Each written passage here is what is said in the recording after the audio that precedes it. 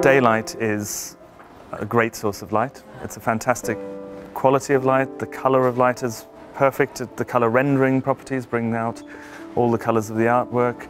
People enjoy daylight. They like the connection with outside. They feel comfortable with daylight. Daylight is free. It's the ultimate sustainable lighting source. There's no carbon footprint for, from daylight. And um, all of those things make it a, a, a wonderful source of light to use, especially for museums, but for everything. Daylight varies a lot.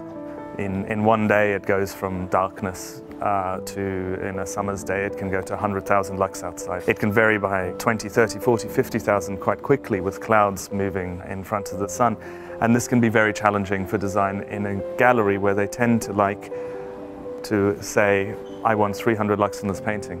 So you might, with daylight, have 300 lux in the painting at 12 o'clock, but at 4 o'clock the cloud comes away from the sun and uh, you have 500 lux.